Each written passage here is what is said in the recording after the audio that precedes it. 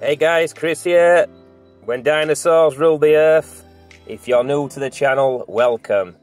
If you're old to the channel, welcome back. In this video, I'm going to be reviewing the indie sci-fi thriller A New World Order.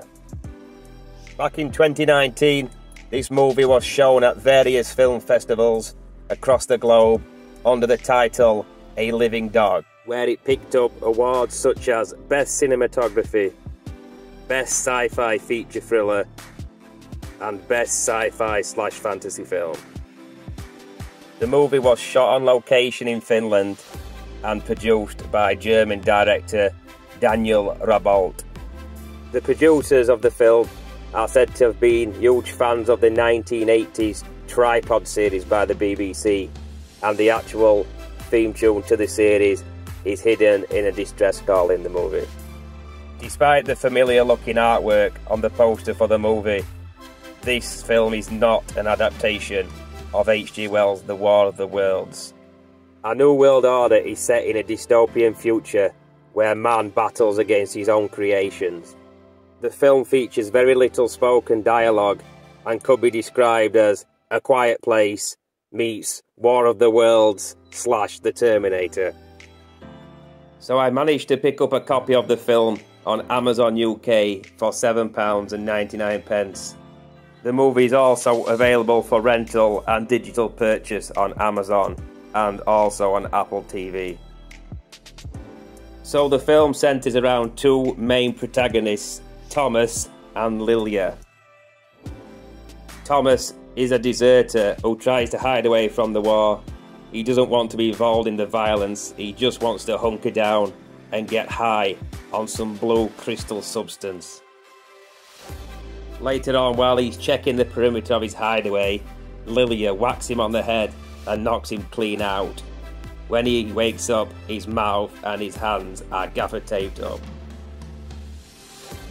Lilia is the sole survivor of a resistance group that wants to fight the machines, which sort of fucks up Thomas's plans of laying low and getting high.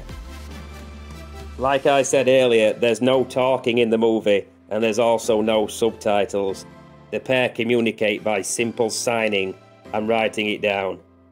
They cannot speak, or the machines will sniff them out and kill them, though they do seem to be able to make as much other noise as they want, as long as they don't speak. Speak and you're dead. The machines consist of a range of tripods and different flying machines. They all have some sort of laser heat ray to blow shit up.